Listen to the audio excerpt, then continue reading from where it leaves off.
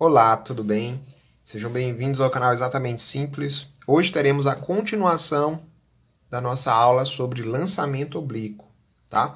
Vou deixar o link aqui na descrição desse vídeo sobre a parte 1 dessa aula, beleza? Hoje vamos estudar as demonstrações trigonométricas. E aí é importante relembrar. Quando estudamos lançamento oblíquo, eu disse para vocês que na análise desse tipo de lançamento são importantes três coisas: a altura máxima, o tempo de subida e o alcance. Tá? Eu disse também que o lançamento oblíquo, o movimento parabólico, no caso, ele é dividido em dois. Ele é dividido no movimento na vertical e no movimento na horizontal. Então temos aqui componente vertical da velocidade e componente horizontal da velocidade. O que vamos ver aqui? Vamos ver as equações importantes desse movimento.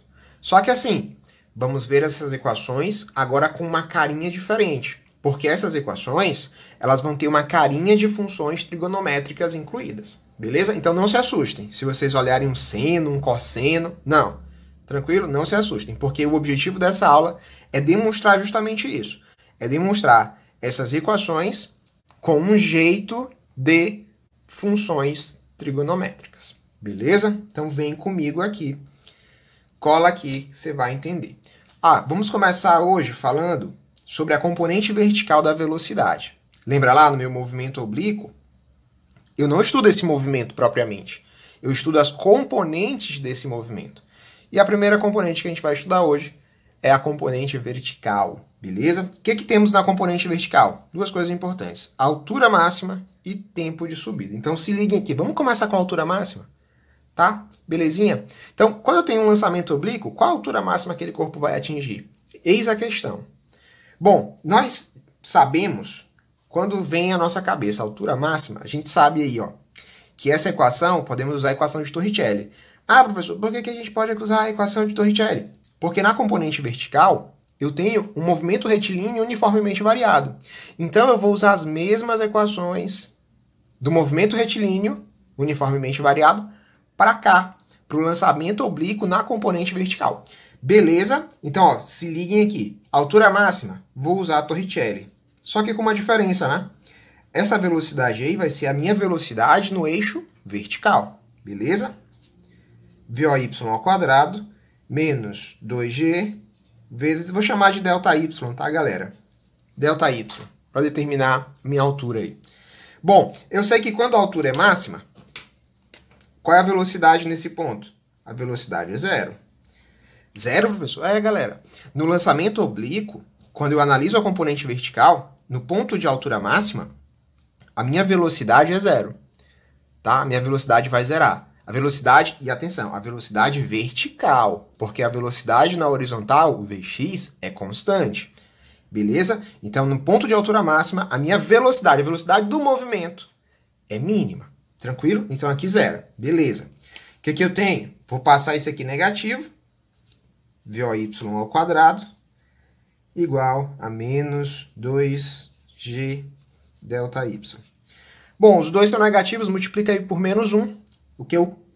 Vai dar positivo, né? O que eu quero encontrar aqui é a minha altura máxima. E aí, beleza, galera. Vou encontrar a altura máxima. Ó. Delta Y vai ser VOY ao quadrado dividido por 2G. Tranquilo? De boas? Agora, como ficaria essa equação com uma carinha de função trigonométrica? Ou melhor, como ficaria essa equação quando eu incluo uma função trigonométrica nela? Porque a aula de hoje é sobre isso. Então, se liguem aqui. Eu sei, eu sei, eu, nós vimos, né? Que ΔY é igual VO. Y é quem? É VO seno de teta. Então aqui eu vou ter, ó, VO seno de teta, tudo isso ao quadrado dividido por 2G.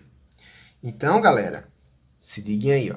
A minha altura máxima em função, ou melhor, meu delta y, em termos de funções trigonométricas ou em termos de uma função trigonométrica, nada mais é do que VO ao quadrado vezes o seno ao quadrado de θ dividido por 2G. Pronto. Tá aí. Então, se eu quero determinar a minha altura máxima em termos de, de uma função trigonométrica, eis a minha resposta.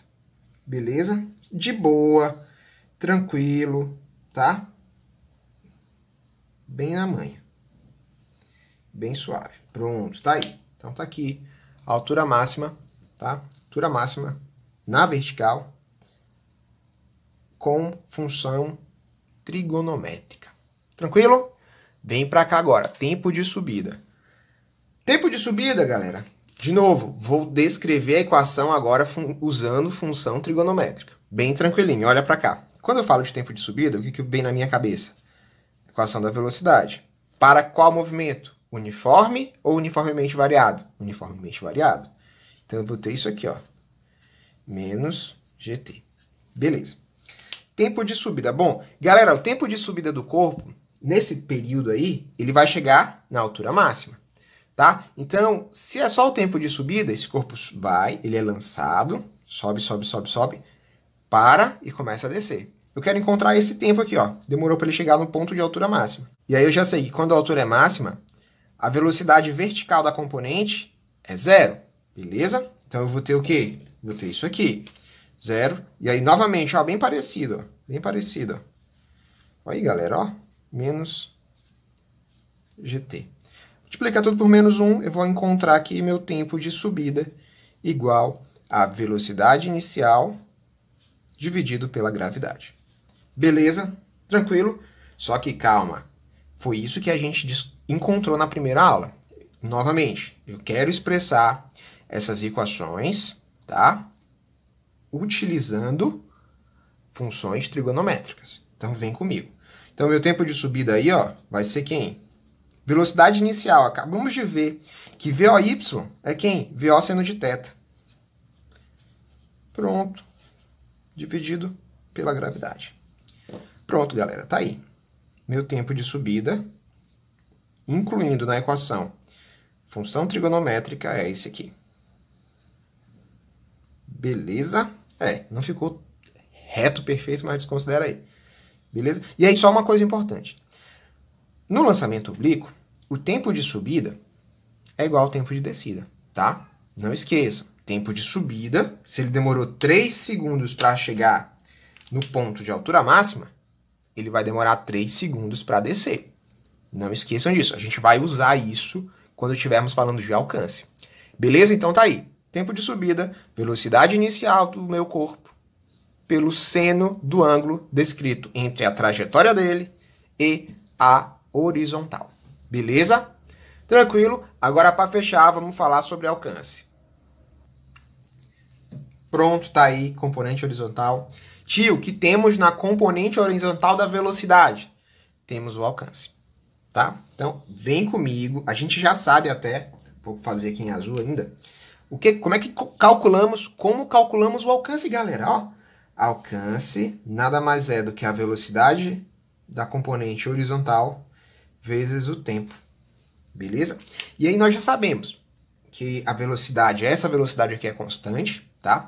Esse tempo é o tempo total, é o tempo que o corpo demora, ou melhor, é o tempo que o corpo leva para descrever o movimento parabólico. Beleza?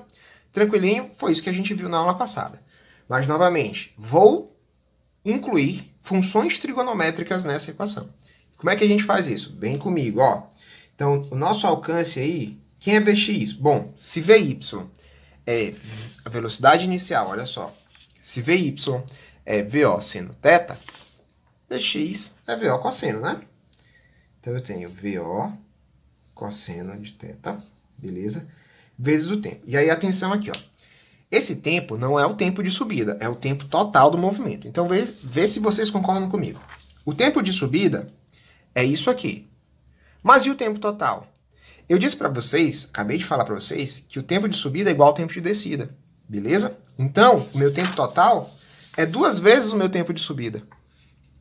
Se ele demorou 3 segundos para subir, ele vai demorar 3 segundos para descer. Duas vezes 3, 6. Esse é o tempo total do meu movimento. Beleza? Então aqui, ó, no tempo total, eu vou ter duas vezes o tempo. Tempo de subida mais o tempo de descida. Como os tempos são iguais, 2t. Tranquilo? Então vem comigo, olha só. Eu tenho VO cosseno de θ vezes 2. E aí, como calculamos o tempo de subida em função, da velo... em função da fun... das funções trigonométricas, ou melhor, da função trigonométrica? VO, opa, perdão, aqui ó, VO seno de θ sobre G. Então eu vou colocar isso aqui, aqui. Vem comigo, ó. VO seno de θ sobre G, beleza? Show, beleza, professor, tudo de boa. E aí, atenção, galera, ó, vou até colocar aqui em laranja. Não, vou organizar primeiro, vai, vem comigo. Vou ter o seguinte, o alcance vai ser VO, produto, né? VO vezes VO, VO ao quadrado. Beleza? Tranquilinho? E aí eu vou ter o seguinte, ó. Duas vezes seno de θ, esse aqui vezes esse aqui, vezes cosseno de θ, sobre a gravidade. Beleza? Tá aí. E aí, vamos fazer o seguinte. Eu conheço, eu tenho uma relação trigonométrica que ela diz assim, ó. Relação trigonométrica, vou colocar aqui em laranja, tá? Ela diz que quando eu tenho 2 seno de x cosseno de x, isso aqui é igual seno de 2x. Beleza? Então, o que, que eu vou fazer? Eu vou substituir essa expressão por seno de 2x. Aqui. Belezinha? Então, vem comigo. Olha para cá. Olha para cá. Meu alcance vai ficar, então, VO ao quadrado vezes seno, olha só, acabei de mostrar aqui para vocês, seno de 2x. Pronto. Seno de 2x, ou melhor, de 2θ, né? já que meu ângulo aqui considerado é o θ, dividido pela gravidade. Pronto, tá aí. Esse, ou melhor, essa, é a nossa equação para alcance, levando em conta as funções trigonométricas. Para fechar, galera, duas coisas muito importantes, duas observações. Deixa eu só colocar aqui em verde. Duas observações, ó. Duas observações para vocês. Não esqueçam disso aqui.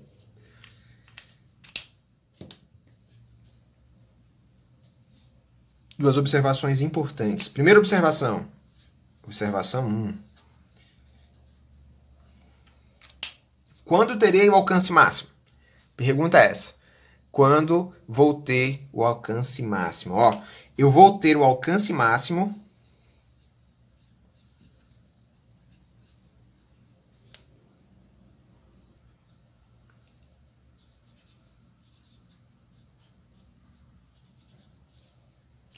quando o meu θ, atenção, for igual a 45 graus. Beleza? Então, atenção aí, galera. O alcance máximo sempre vai acontecer quando o ângulo for igual a 45 graus. Beleza? Então, por exemplo, aqui, ó. Vem aqui, olha para cá. Por que 45, professor? Simplesmente por causa do seno aqui, ó. É seno de 2θ. Qual é o seno? Se aqui for, se θ for igual a 45, seno de quanto? De 90. Qual é o seno de 90, galera? É, é um exato. E aí, o 1 é, uma, é o maior valor possível para o seno, tá? Então, se aqui é 1, morreu. Qualquer número multiplicado por 1 é, é ele mesmo. Então, meu maior alcance sempre vai acontecer quando o meu ângulo for igual a 45 graus, beleza? Por causa desse 2θ aqui, porque eu sempre vou ter o seno de 90. Tranquilo? Observação 2. OBS 2. Qual é a observação 2? E aí, para fazer a observação 2, eu vou fazer um desenho aqui para vocês. Pronto, bem aqui. Vai ficar assim, nossa, que desenho maravilhoso, né? mas dá pro gasto. Então se liguem, fazer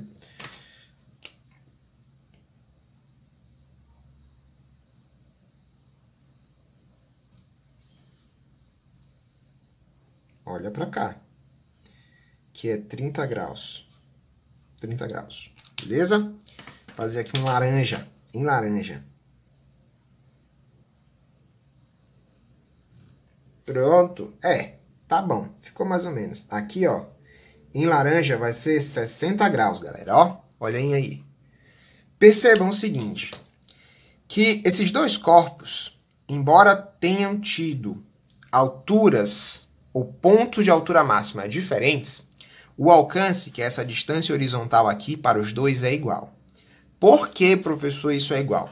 Galera, eu sempre vou ter alcances iguais para dois corpos. E atenção, ó, sempre que tivermos dois corpos descrevendo um lançamento oblíquo, tá? Cada um descrevendo um lançamento oblíquo. Mas com velocidades, vou colocar em laranja, tá? Com velocidades iguais, tá? Velocidades iguais. E ângulos entre suas trajetórias, quando somados iguais a 90, por exemplo, aqui eu tenho 60 mais 30, 90. Então, toda vez que eu tiver dois corpos descrevendo um lançamento oblíquo com velocidades iguais, sujeitos à mesma aceleração da gravidade, cujos seus ângulos somados seja 90 graus, eu posso afirmar, galera, ó, posso afirmar que os seus alcances A1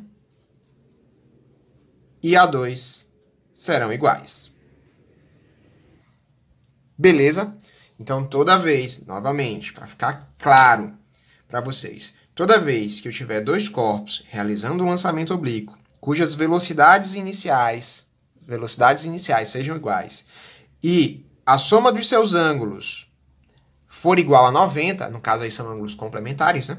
Quando a soma for igual a 90, os alcances serão iguais. Beleza? Então, essa aí são as duas observações sobre alcance. Mas percebam, embora os alcances sejam iguais, as alturas máximas, essas sim, essas serão diferentes. O corpo 1 apresenta uma altura máxima muito maior do que o corpo 2, mas os seus alcances serão iguais. Bom, galera, essa foi a nossa aula de hoje sobre lançamento oblíquo. Espero que tenham gostado.